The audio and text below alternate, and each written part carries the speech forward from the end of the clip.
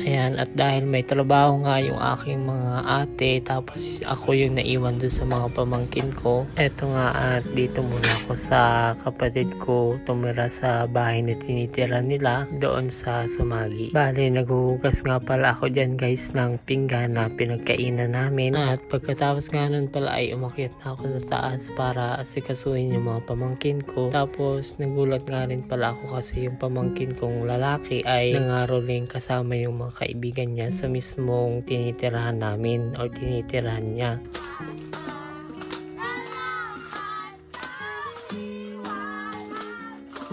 Tapos, eh nga, sabi niya, maglilibot-libot para sila sa mga bahay-bahay. Kasi nga, sobrang daming kakilala nitong pamangkin ko na to. At eto nga, pagka-uwi nga ng pamangkin ko, sabi ko, saan niya nabili yung laruan na yan? Tapos, eto nga sabi niya, ah, binili nga daw niya pala yung kanyang kinita ng baril, barilan.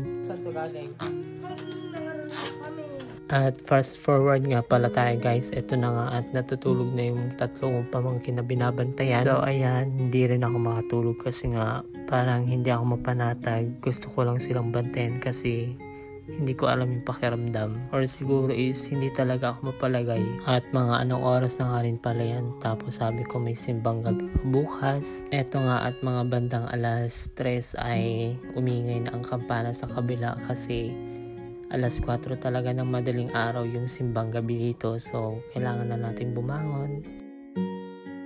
Ayan nga guys, at naghilamos lang ako. Tapos namunas ng katawan kasi naligo na rin ako kagabi tapos nagsuklay-suklay lang. At nung araw nga pala na yun ay ako rin ang pinabantay sa mga bata. Naku, kung alam niyo lang talaga kung gaano kakukulit ng mga bata pero wala nga tayong magagawa kasi nga mga bata Eto nga at meron nga tayo na pagalitan at nagaluti.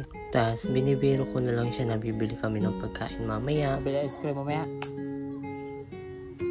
Tapos eto nga nag-aya siya na kumain daw kami ng Quaker Oats. Ayan, kita mo naman na siya talaga yung nanguna. Tapos ako pa yung tinuturuan niya na ganito daw kadami yung sandukin ko. Tingnan niyo naman gaano karami yung sinandok ko. At syempre habang nagsasantok nga ito at nagpainit na ako ng ating tubig na ilalagay natin na siyang pinakang magiging sabaw natin. Ayan nga, sakto nga lang dapat yung paglagay natin ng tubig para hindi siya mawala ng lasa. At etong sa nga ay naglagay na rin ako. At yun nga ay kumain kami dun sa may terrace. Tapos sabi pa nga niya ay i-vlog ko daw to. Tapos yun nga sabi ko is naka-vlog nga tayo ngayon.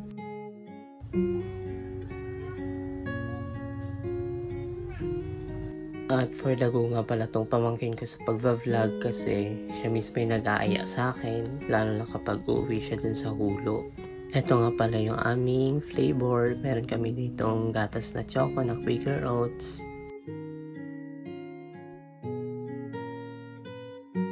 Tara, kain po tayo guys!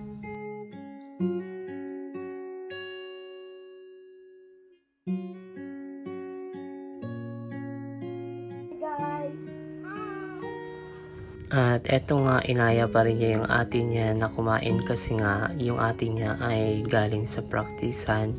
Kaya eto sabi niya, kain daw sila ng sabay.